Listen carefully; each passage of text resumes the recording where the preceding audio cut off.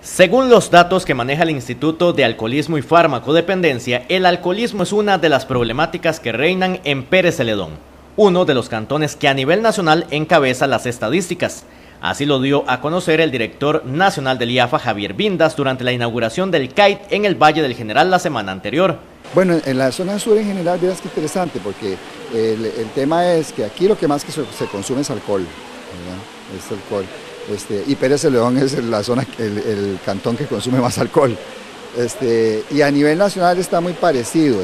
Digamos que a nivel nacional están eh, alcohol, tabaco y eh, marihuana. Entonces, eh, en alcohol hay un 26% de la población consume alcohol. El consumo de alcohol temprano es uno de los aspectos a los cuales la institución le pone atención y están concentrando los esfuerzos para crear las estrategias para hacerle frente al tema.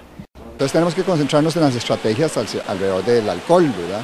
Este, y vamos a trabajar en eso. Estamos, eh, ya, lo ya esto está planificado de acuerdo a las políticas nacionales y nosotros vamos a cumplir con esa responsabilidad.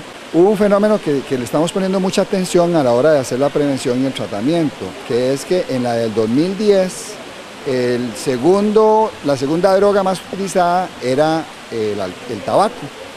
Este, siempre queda el, alcohol arriba, pero el tabaco era la segunda. Ya en el 2016, en el 2015, presentada en el 2016, ya era la marihuana en, adolescentes. No a nivel general, sino en adolescentes.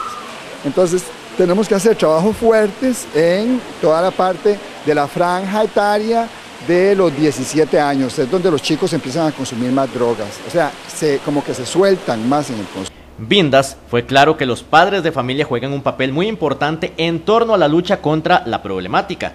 Y esto está dentro de las estrategias que están montando.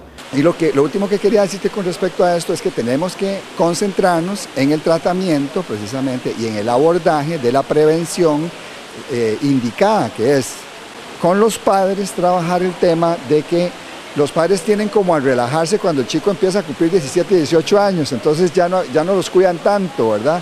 Entonces en ese momento es donde este, hay más soltura en los límites, entonces hay que volver a trabajar con los padres en que, en que no haya tanta, eh, digamos, eh, flexibilización en cuanto a esas edades, ¿verdad? Es algo, datos que nos están dando, los datos científicos nos están diciendo hay que ir por ahí, ¿verdad?